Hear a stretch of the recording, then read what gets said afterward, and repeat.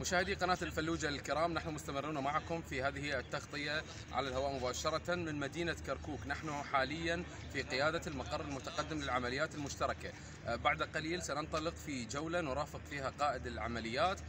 طبعا على عدد من مراكز الاقتراع للاطلاع على سير العملية الانتخابية. قوة كبيرة حقيقة لحماية المراكز الانتخابية في كركوك بمشاركة 120 آه، عربة تقريبا لجهاز مكافحة الإرهاب وثلاثة أفواج منتشرة في مختلف مناطق كركوك. لذلك آه، آه، عملية الاقتراع التي بدأت في الساعة السابعة صباحا ما زالت مستمرة وما زال توافد المواطنين على مراكز الاقتراع مستمر أيضا ولا وجود لأي فروقات أمنية لحد اللحظة والحمد لله ولا توجد أيضا أي مشاكل آه، فنية تذكر على مستوى أجهزة التصويت. لذلك نحن معكم على الهواء مباشرة. نستمر في هذه التغطية. تباعا سنبقى في المراقبة.